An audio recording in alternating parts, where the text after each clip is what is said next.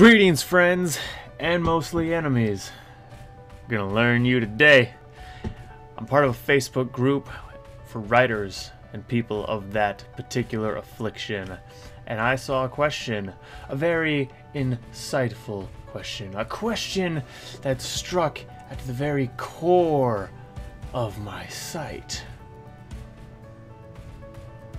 Am I allowed to do multiple POVs in multiple types?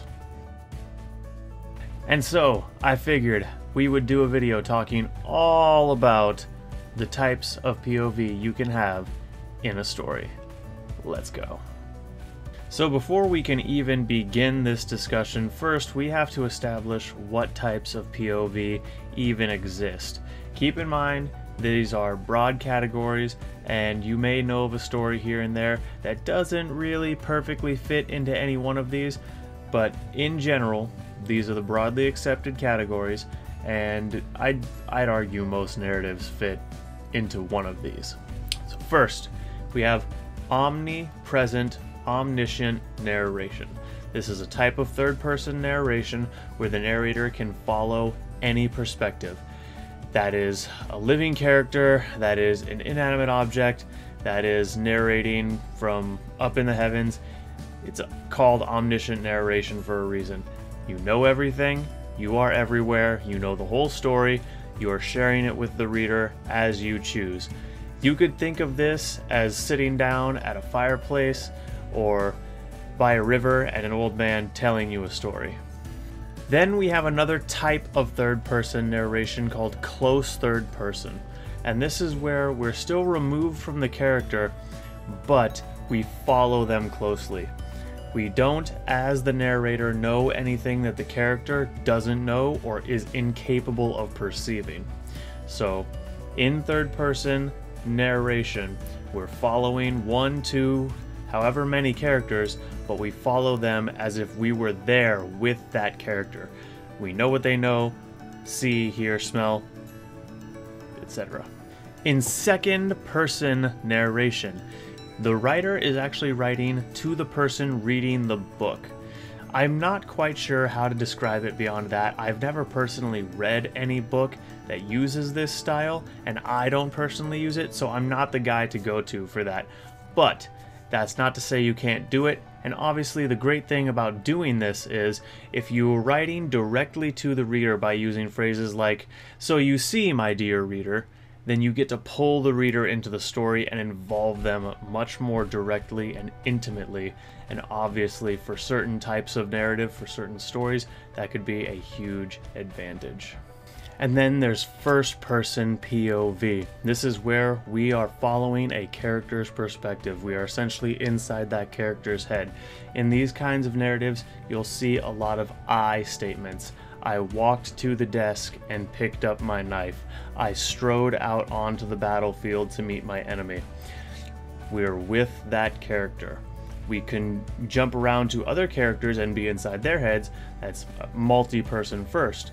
But in first person narration, we're inside the character's head, we're experiencing the story with them. So, to more specifically address the question at hand, can I use multiple perspectives if they're not all the same type of perspective? For example, mixing omniscient narration with two character perspectives. And I'd argue that yes, you can. I'd say you had to do it very well.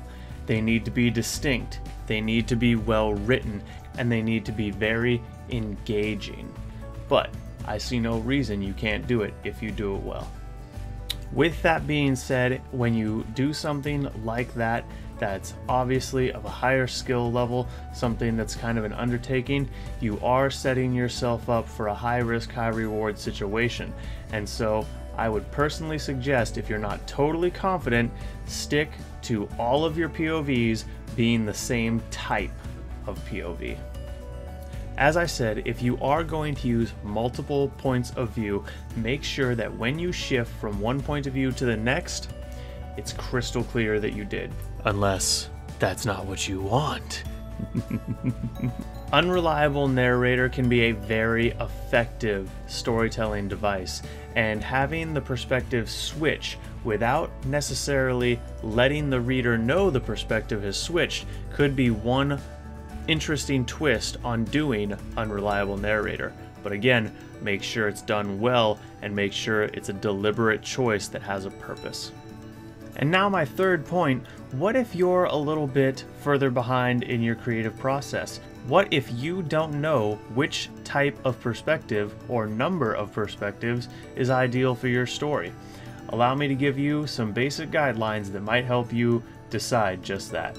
First, you need to decide and know if this is a character driven story or a narrative driven story. If it's a character driven story, I would personally wager that first person POV in single or multi, or third person close single or multi, is the way you're going to want to go. Other side of the coin, if you have a plot driven narrative where the story is much less about the characters and much more about the events that they're swept up in, omniscient narration or second person narration in single or multi POV might be ideal for you. And that's obviously not to say you can't swap these around and play with them a little bit. In fact, as you get more skilled and experienced, I would actually encourage you to do it. No one should put baby in a corner or a box, creatively speaking. But we also need to make sure that we're capable of doing what we're doing well. If you're sitting there and asking yourself, well, what is a plot driven narrative? There's tons of videos and articles talking about how to do a character driven story and why character driven stories are so good, but what's an example of a good plot driven story? I would cite to you stories like Game of Thrones and Lord of the Rings, where the story is much less about the individual characters and much more about the series of events and this massive epic scale of storytelling that those stories encompass. When we're picking our POV, we also want to consider what the goal of our writing is. If you're writing a horror novel, you are not going to want to write from the monster's perspective. At least I'd wager you wouldn't. It's pretty hard to get a jump scare or build uh, horrific suspense when we see the monster stalking its victims. Another example would be in a suspense novel, if we're trying to have a big twist at the end, multi POV might not be the best choice because the more information we allow our reader to gather from multiple perspectives, the easier it's going to be for them to guess the big twist. We're also going to want to consider the voice of our characters. If you have a protagonist who is a raving asshole 90% of the time, following him in first person might not be very enjoyable for a lot of readers, and maybe he's best in small doses, so omniscient narration or kind of slightly less than close third person would be ideal for a protagonist like that. The structure of our narrative is also a very important consideration. If we're using a bunch of flashbacks, I would wager that we really want to use uh, the POV that is going to make us most invested in the characters involved in that flashback. And that's going to probably be first person or third close. And then the last consideration, and this one should be obvious, but I'm going to say it the tense and style that you write in is going to be the biggest consideration. You need to make sure that however many characters you follow, and however we're following them, whether it's first, second, third, omniscient, whatever, you need to make sure that you can keep it consistent and do it well and be engaging. If you can't do present tense and keep your prose engaging and flowing well, maybe you need to switch to past tense. If you can't do third person narration but when you write second person and you address the audience, your prose seem to flow better. Maybe writing second person is your niche.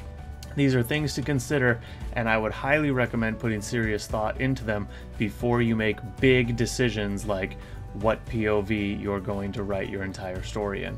And so, guys, there you have it. That is the meat and potatoes of the argument. If there's something that I missed that you think we should have talked about, if there's something that you want to give me your two cents on, please leave it in the comments. I'd love to discuss it with you.